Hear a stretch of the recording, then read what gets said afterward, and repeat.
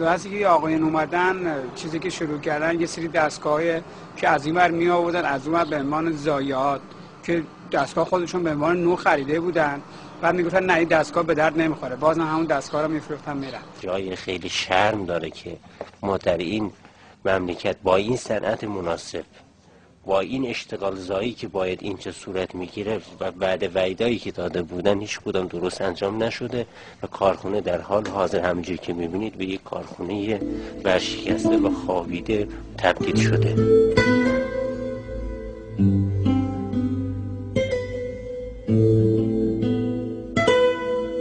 برخورد بد می‌کنن اصلا توجه نمی‌کنن. هشو یخچال همه رو فروختم. هشت سنم آیله هستم. گرسنم به خدا گرسنه شکمم نیستم. گرسنه شکم زن بچه‌مم. گرسنه آبرومم. ما چی در حق اینا بدی کردیم؟ اینا مملکت حفظ کردن که آقایان الله هر کدومشون به کرسی به اونچنان اونجاها نشستن و حقوق اونچنانی دارن می‌گیرن. من چقدر به دخترم دروغ بگم؟ من چقدر به پسرم دروغ بگم؟ دادرسی همینه. آزادی به همینه. من شب شده که بچم به خاطر دو تومن 25 تومن بلیت خط واحد مدرسه نرفته. بابا جان من چهار تا بچه دارم الان بزرگ 25 سال جوان دارم.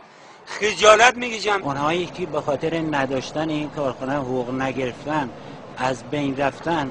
با چقدر پول می‌تونن جبران کنن. این شرکت هیچ گونه از نظر مشکلات تولیدی مشکل نداشت. فقط اینجا یه مقدار سوء استفاده این آقا کرده بود. زمانی که کارخانه می‌خواست واگذار بشه شبانه گروه نوسازی آوردن سالینا رو بریدن. انبارا رو بریدن. آهناش رو جمع کردن. یا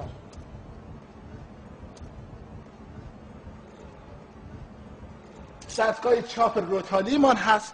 بهترین چاپ یعنی تو شهر صنعتی. ساعت نمی‌دونم چهار هزار متر هشت هزار متر پارچه چاپ می‌کنه. هفت تا یا شش تا ماشین های جدید کامپیوتری که اون قسمت هستن تشریف بیاری همه در حال تولید. ببین آقا خاموش کردن این در حال تولید بوده. در حال تولید؟ مخروش بوده. در حال تولید همه رو